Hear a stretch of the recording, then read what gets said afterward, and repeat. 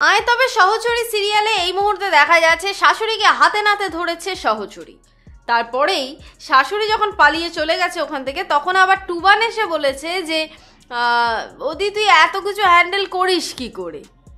তো যাই হোক, এখন টুবানকে বলেছে যে, তুই একটু নারকোল কিনে আনিস। মাকে পরের দিন আমি পাটি সাপটা করে দেবো।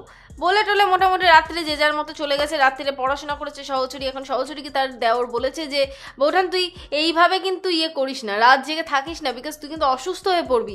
এত কষ্ট করার কি কোনো দরকার আছে? আশ্রম টাশ্রমে যাওয়ার কি সত্যিই দরকার আছে? এখন সহচরী বলে দিয়েছে হ্যাঁ ওটার খুব দরকার। তো সহচরীকে তো কেউ বুঝতে পারল না। তো সহচরী এখন বলে দিয়েছে যে, তুই চিন্তা করিস না, আমার কিছু হবে না। পরের দিন সব কাজ গুছিয়ে টুছিয়ে মোটামুটি সহচরী বেরোবে। সেই সময় সকলে এসে হাজির। কারোর চা দাও। কারোর ব্রেকফাস্ট রেডি করে দাও, কারোর বেডটি দাও, তো এই সমস্ত কিছু নিয়ে মোটামুটি সবাই হাঙ্গামা জুড়ে দিয়েছে। এবার সহচরী যেহেতু কাঁধে ব্যাগ রেখেছে, তখন সকলের প্রশ্ন একটাই যে, এ বাবা, তুমি কোথায় যাচ্ছ? এখনও তো আয়া পাওয়া যায়নি।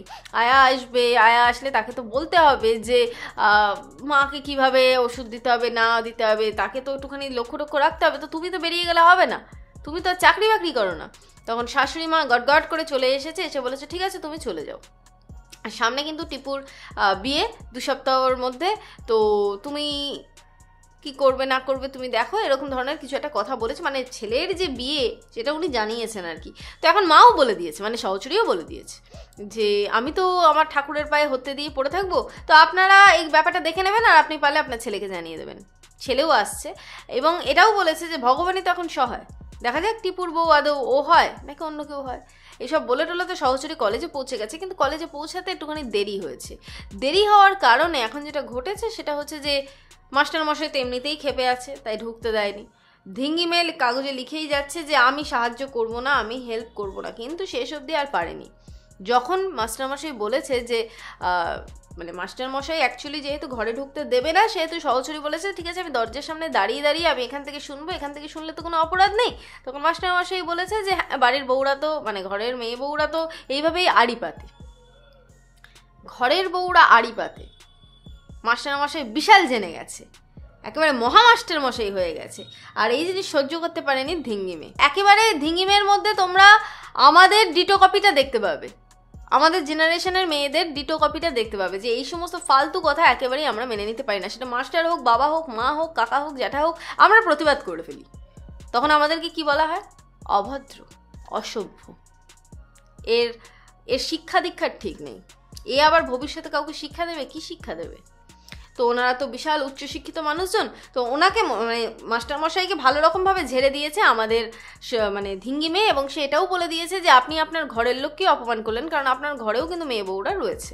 তো যাই হোক, এখন কলেজের সমস্ত স্টুডেন্টরা মিলে হাঙ্গামা শুরু করেছে যে এই মেয়েটাকে আমরা বয়কট করতে চাই, এই মেয়েটা আপনাকে আগের দিন অপমান করেছে আজকে অপমান করছে, এই সমস্ত কিছু বলা বলি নিয়ে মোটামুটি ক্যাচালাটা বেঁধে গেছে সহচরী এখন আবার থামানোর চেষ্টা করছে ধিঙ্গি মেয়েকে। ধিঙ্গি মেয়ে তো থামছে না, এদিকে ধিঙ্গি মেয়ে আবার তার মামিকে কথা দিয়ে এসেছে যে কলেজ থেকে তার মানে ফিরেই এই খবর সে দিয়ে দেবে যে কলেজ থেকে আমাকে তাড়িয়ে দিয়েছে। তো এই খবরও দিতে পারছে না, তবে গল্পে হয়তো একটা নতুন টুইস্ট ঢুকলেও ঢুকতে পারে। সহচরীর স্বামী হয়তো ধিঙ্গি মেয়ের মামার কোনোভাবে বন্ধু হতে পারে এবং বিয়েটা টিপুর সাথে আমাদের ধিঙ্গি মেয়েরই হচ্ছে, কিন্তু বিষয় হচ্ছে টিপুর সাথে বিয়ে তো হচ্ছে ধিঙ্গি মেয়ের কিন্তু এই বিয়েটা হয়তো মানতে পারবে না সহচরীর স্বামী, কিন্তু আবার মেনে নিতে হবে। শুধুমাত্র মামার কারণে। আর বিয়ের পরেই আমাদের ধিঙ্গি মেয়ের পড়াশোনা করতে আর সমস্যা থাকবে না, আর সহচরীরও থাকবে না। এর আগে পড়াশোনা নিয়ে বিশাল বড় একটা ধামাকা আসছে বিকজ সহচরীকে বাড়িতে আটকে রাখার একটা পরিকল্পনা কিন্তু চলছে। এরই মধ্যে বুবাই আবার কতগুলো উচিত কথা বলে দিয়েছে তার নিজের মাকে। তো এখন দেখা যাক আগামী দিনে গল্পটা ঠিক কেমনভাবে সেজে উঠছে। তাই অবশ্যই করে দেখতে থাকো সিরিয়াল আয় তবে সহচরী, স্টার জলসা ও স্টার জলসা এইচডিতে আমার ভিডিও দেখার জন্য ও লাইক কমেন্ট শেয়ার করে চিরকুট এন্ড ফ্রেন্ড চ্যানেলটিকে সাবস্ক্রাইব করার জন্য অসংখ্য ধন্যবাদ সকলকে।